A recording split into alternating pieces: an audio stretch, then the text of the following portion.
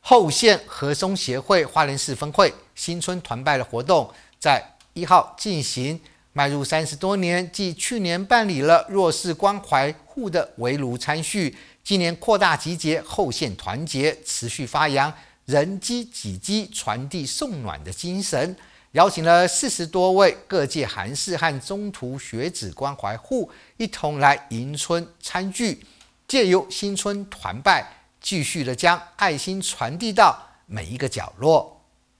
后县合中协会花莲市分会，并且在红山菜馆办理新春团拜。江乡长尤淑生则是前来向会员们致意，同时也肯定后县的努力精神。祝福我们所有的兄弟姐妹、所有的家人新年快乐！新的一年，只要是吉安乡淑生可以做到的，我们一定全力的来支持。我们也希望未来看到后县。过去不管在捐血，还有在各个氛围里面要执行的每一个业务，哎，我们的这个这个理事长终于看到了哦，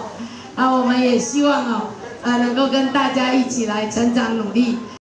花莲后县合中协会花莲分会会长林金平也说明这次活动的意义。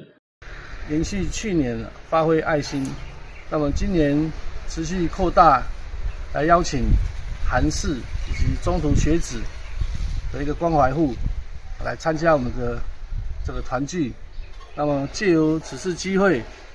啊，我们发挥我们会员更大的一个广招及号召力，啊，那我们期许在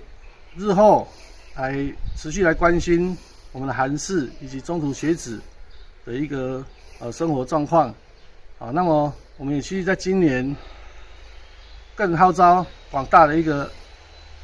这个我们后线的一个爱好者，